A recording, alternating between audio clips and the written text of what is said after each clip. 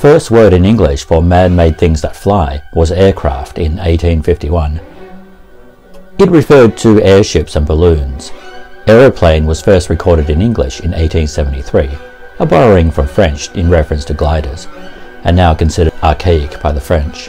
The French Academy soon replaced aeroplane with a more impressive sounding avion, which better collocates with aviation and aviateur, or aviatrice for a woman. Aeroplane was anglicised to airplane by 1907. This occurred in Britain and was picked up in standard American English soon after. The British soon reverted back to aeroplane and Americans continued to use airplane. The first fighter planes were referred to by the British press as battle planes to correlate with battleship. This uh, obviously did not catch on. It was the airplane that would decide any future war. Victory would go to the nation that could dominate the skies. The 20th century was to see a shift in global British linguistic, military, and economic hegemony to that of the ascending and increasingly self-confident United States. The US became the world's largest economy around 1910. Uh, it would be the uh, people of the United States that would shape the future of the English language, as her military would dominate global conflicts and shape the face of war. Some of the words in this video may seem somewhat old-fashioned, more so than words in previous videos. This is because the older words have become cemented and frozen in English, they are the survivors in the ever-changing nature of language. As we get closer to the present day, we encounter words that may be on their way out. Expressions such as uh, pogey bait for candy, one over the eight for drunk, and the hackneyed uh, expression the balloon goes up, demeanor foreboding, are expressions of our military origin of this period. They may still be uh, recognizable to uh, older viewers, but will confound younger ones. Unless they are somehow repopularized, they will die out. The First World War was a truly global conflict. However, most of the words included in this video came from the Western Front. With the assassination of the heir to the Austrian-Hungarian throne, Archduke Franz Ferdinand of Austria, Austria-Hungary declared war on Serbia. Austria-Hungary was allied with Germany and Serbia was allied with Russia. It was uh, enough to trigger decades of tension between the two blocs. War ensued. The month of August in 1914 saw 13 separate declarations of war in Europe. Sir Edward Grey, the British Foreign Secretary, commented, The lights are going out all over Europe, and we shall not see them lit again in our lifetimes. This European civil war would turn global and reach its tragic climax in 1945. World leaders had decided it was a good idea to play a macabre game of death on an unprecedented scale. The world wars caused more human misery than any other event in history before or since. The Western Front was created when both sides made repeated attempts to outflank each other, creating a gradual expanding trench line from the English Channel to the Swiss border. Once the trenches of the Western Front were dug and um, each side faced off, the German soldiers were nicknamed the Boche. There were several theories as to where this came from, but nothing can be proven. The most likely explanation is that Boche is a French slang word for scoundrel. Another theory suggests it may have come from the Eastern French dialect word for a German Allemoche, to which Boche was derived. An 1887 French slang dictionary had an entry for German that read tete de Boche. In this 1887 sense, Boche was probably a derivation of caboche, meaning cabbage. So let the viewer be the judge of that. It was the French that bore the brunt of the early fighting on the Western Front. Triage dates back to uh, 1727 to refer to uh, sorting out of separate objects according to their quality, most commonly, most commonly referring to food items such as uh, coffee beans. By 1914, the term was archaic and barely recognizable. Originally a French borrowing, triage was reappropriated and used in English exclusively to refer to the newly adopted practice of prioritizing the treatment of wounded soldiers. This was a life-saving improvement on practices prior to the First World War, where treatment of the wounded was uh, conducted strictly on the basis of um, the order in which they reached the hospital or the doctor. Another medical uh, related expression for World War I, used to articulate the physical condition of soldiers, is to push up daisies. The Swedish government remained neutral during the conflict, to which uh, consecutive Swedish governments have done since the uh, Napoleonic Wars. However, not all Swedes agreed with this.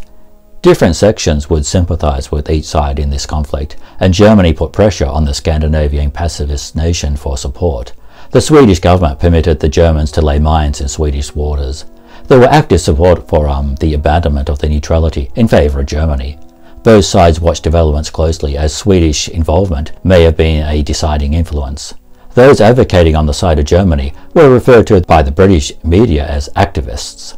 The men on the front engaged in a sort of activism or inactivism of their own. Uh, the rank and file of both sides mutually deduced that if they were to refrain from shooting at the people on the other end of um, no man's land, as it was quickly named, their opposite number would also refrain from shooting back. This understanding among the men on the Western Front was known as live and let live. Nobody wanted to die, and no man in particular wanted to be the first to do so. Prior to a sophisticated anti-German propaganda campaign thoroughly demonizing their pointy-helmeted opponents, most of the men in the trenches did not like or dislike the Germans any more or less than the French troops they were standing beside. Some would have preferred to aim their weapons at the French instead. Winston Churchill was First Lord of the Admiralty in 1915. In this role, he requested that the army develop a machine or some mechanical uh, solution in order to break the stalemate on the trenches. His suggestion fell on deaf ears, and as head of the Navy, he didn't have any influence of what the army did on the battlefield. Churchill was nonetheless undeterred he commissioned tests of steamroller-like vehicles in London. Churchill's vision and direction was fanciful, but the engineers solved most of the practical problems. The project was stymied when the Gallipoli disaster cost Churchill his position. The Navy found it hard to progress, and a project that was clearly within the purview of the Army without uh, Churchill's influence. Nonetheless, Churchill continued to push the idea behind the scenes. Despite the difficulties, uh, prototypes were made due to the secrecy of the project. The new contraptions were labelled water tanks to hide their true purpose and to create a cover story that the vehicles were being built to supply fresh drinking water in the field. As it was the Admiralty who developed these contraptions, nautical words were used to describe its features hatch, turret, hull, and deck. They soon went into mass production and were first used in 1918 with initial success, mostly as a result of the fear they instilled, as well as ushering in the era of the tank, Churchill, a talented writer, a coiner of words, and always ready with a witticism, is credited with coining the word seaplane around the same time. However, as with many famous people, he didn't say all the things he said. Soldiers in the trenches made their own words for the new, deadly, and unedifying things they encountered. As both sides hurled artillery at each other, different artillery pieces could be identified by the unique sounds they made. One particular piece of German artillery was dubbed a whiz-bang by 1915 because it went uh, whiz and, you guessed it, it went bang. Enlisted soldiers appropriated an old piece of legal terminology for the duration to refer to their time in the trenches. The repetitive and monotonous nature of trench life was articulated by um, terms such as upteen and upteenth, derived from an older slang word uh, umpty, meaning a big number, when the uh, British came under chemical weapon attack. Th this chemical that was used by the Germans was dubbed mustard gas, based on its smell. Although the effects were horrific and tragic on its victims, successfully implemented countermeasures ensured that such gas attacks would not result in large numbers of casualties. To be reprimanded by an officer was to be ticked off. The men called the Western Front the Great Sausage Machine. A bonk was a hard thumping sound, the uh, sexual sense dates from the 1970s. The first trench coats were worn by British officers, who dubbed them as such by 1916. Burberry was commissioned to provide the coats to keep the officers warm in winter. The design has changed very little since then. In the trenches, British soldiers heard the German slogan, Gott strafe England, which means May God punish Britain. The German uh, poet, uh, better described as a scriber, a scribbler of hateful propaganda, Ernst Lissauer, is widely attributed to have coined the phrase Gott strafe England. This phrase was also painted onto the walls of the buildings in the towns that the British soldiers would subsequently occupy. They picked up the word uh, strafe and used it for all kinds of military attacks and maneuvers. The current meaning of shooting up an enemy position from a low-flying aircraft was attested by 1942. When a lot of uh, artillery would come their way, their concentrated artillery fire was said to be a barrage, based on the French phrase uh, tir de barrage, meaning a wall of fire. Previously, the word in English referred to a kind of man-made barrier in a stream. The war was the first to see both soldiers and equipment make a concerted effort to blend into the background. All kinds of attire, nets, and foliage covered hats appeared. Ships were painted with a, a kind of disorientating uh, zebra stripe pattern in order to confuse the enemy targeting their vessel. Initially, such designs were referred to as a dazzle painting, first by the British Navy.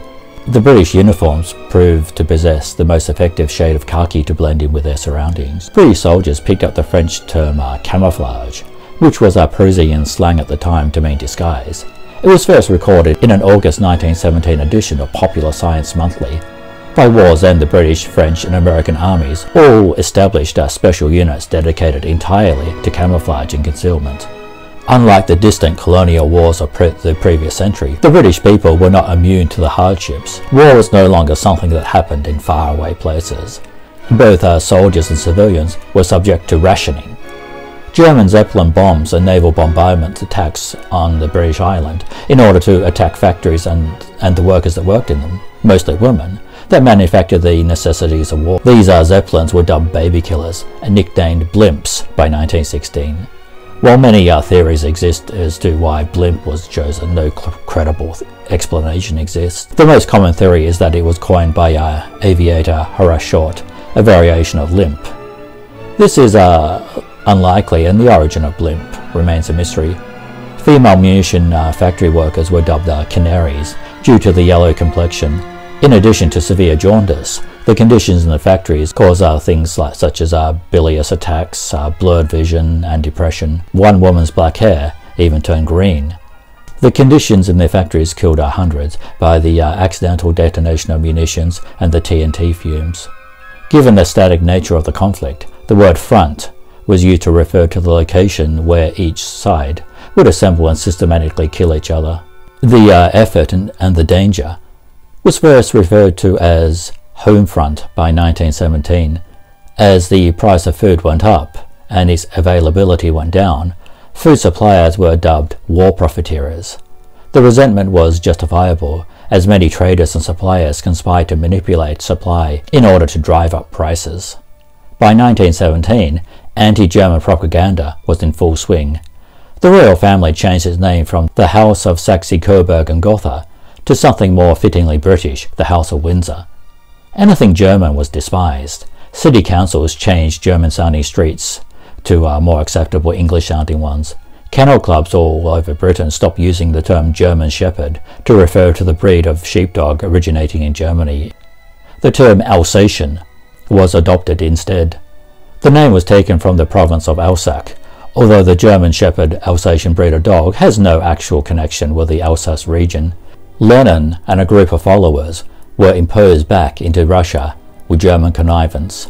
German officials organized a sealed carriage to ensure they arrived safely, knowing that the uh, political agitation the group would cause could only work in Germany's favor. Upon arrival, he led the Bolshevik Revolution, overthrowing the provisional government that had overthrown the Russian monarchy nine months earlier. As Lenin seized power in November 1917, he called for an armistice the next day and quickly moved to end Russian involvement in the war as the Germans had hoped. Throughout the war, the Russian military suffered from low morale and poor leadership and struggled to maintain discipline. Incredibly, however, they managed to hold the line. Germany was also buckling under the weight of the British naval blockade of the North Sea. According to the German government, the blockade caused uh, 730,000 German deaths. Like all wartime death tallies of civilians, the figure is highly unreliable and susceptible to the propaganda of the day. In times of war, the blame for one's own lack of planning and administration can easily be attributed to the enemy. With both sides more wary, Russia eventually agreed to, the, to a conditional surrender in March 1918. The Entente ceased to exist. This left Britain, France, Italy, and by now the United States to fight Germany. With uh, Russia being on one side of Germany and Britain's remaining allies to the west, the West, as a reference to this new geopolitical bloc, was first recorded in 1918.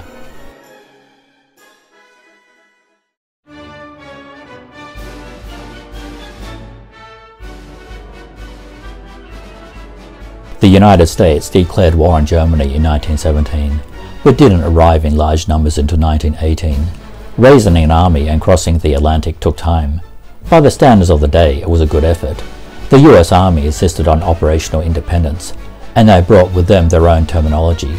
Details of military maneuvers or operations were often secret or not yet decided. If the time of any maneuver could not be mentioned during the planning stage, it was referred to as H hour. If the day could not be mentioned, it was referred to as D-Day.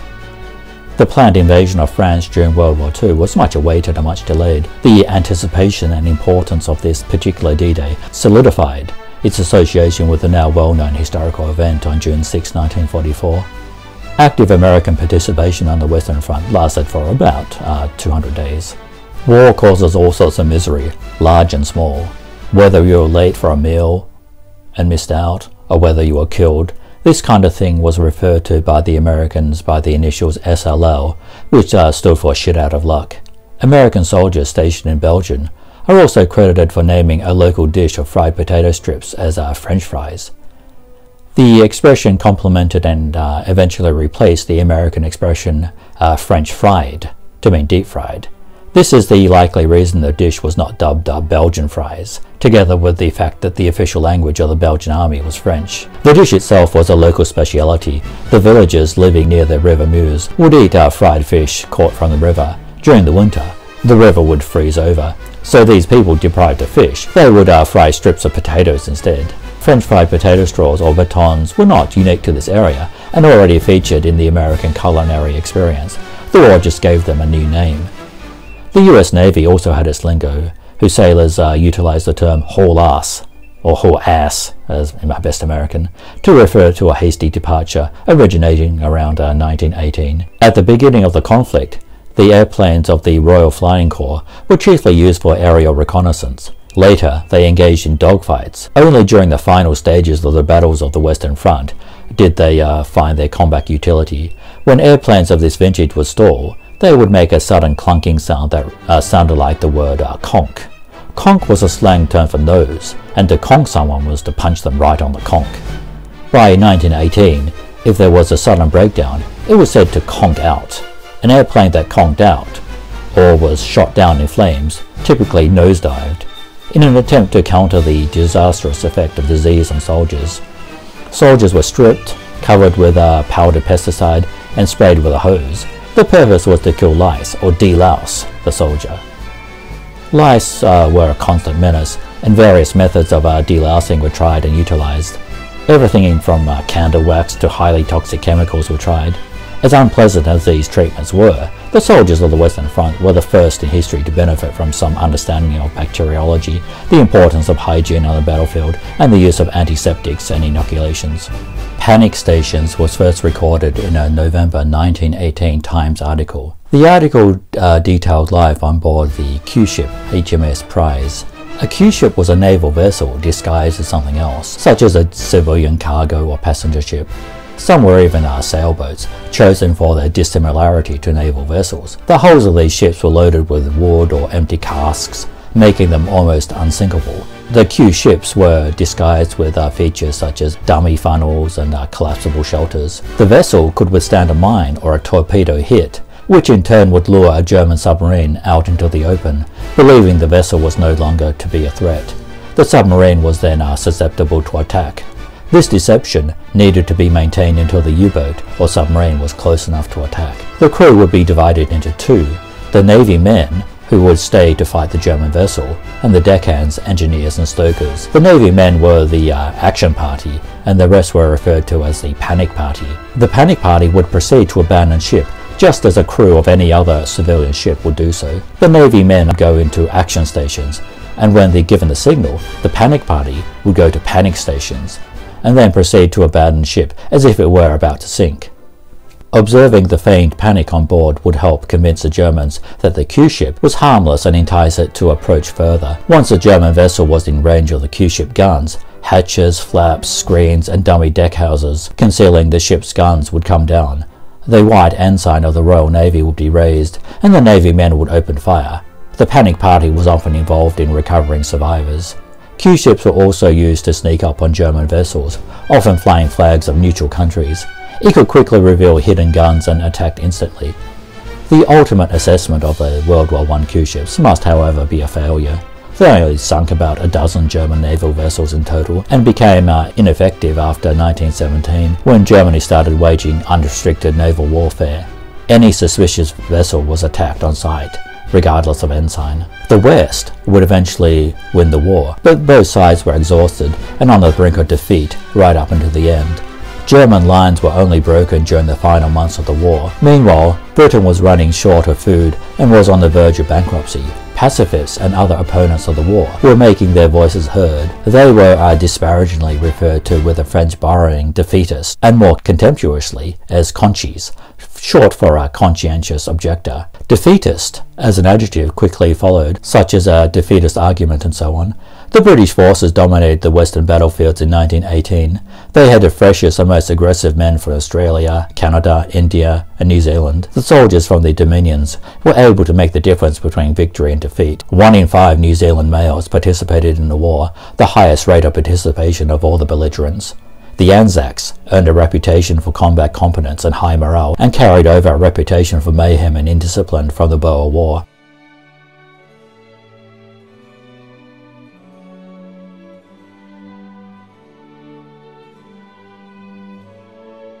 The war finally got the better of the Germans.